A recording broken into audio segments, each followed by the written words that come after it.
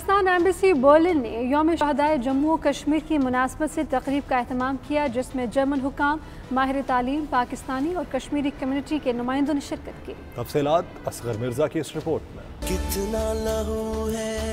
बहना मेरा कितना और बहाओगे कितनी माओ के आँसू कितनी जर्मनी के दारकूमत बर्लिन में पाकिस्तानी सफारत खाने में शहदाय जम्मू कश्मीर की याद में गुजशत रोज तकरीब का इनका किया गया। इस मौके पर सफीर पाकिस्तान डॉक्टर मोहम्मद फैसल ने कहा कि योम शहदाय कश्मीर इस बात की याद दिलाता है कि कश्मीरियों पर उन्नीस सौ सैंतालीस से पहले से जुल्म हो रहा है और बहादुर कश्मीरी भारतीय जुल्म जबर का डट कर मुकाबला कर रहे हैं। सफीर पाकिस्तान ने हर फोरम पर मजलूम कश्मीरियों की आवाज़ बुलंद करने के अजम का अदा करते हुए कहा कि पाकिस्तान मकबूजा कश्मीर की भारत से आज़ादी तक कश्मीरियों की अखलाकी सियासी और सफारती हमायत जारी रखेगा डॉक्टर फैसल ने कहा कि मोदी हुकूमत की जानब से मकबूजा कश्मीर में मुसलमानों की अक्सरियत खत्म करने की कोशिशों की भरपूर मजम्मत करते हैं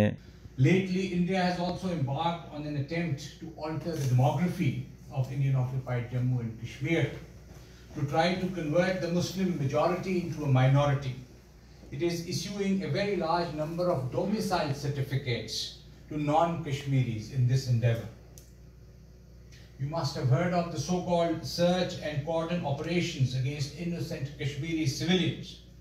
These lead to grave human rights violations, daily extrajudicial killings in fake quote unquote encounters, enforced disappearances, and in incarceration of senior Kashmiri leadership and media blackouts. The internet blockade of Indian occupied Jammu and Kashmir has entered its 12th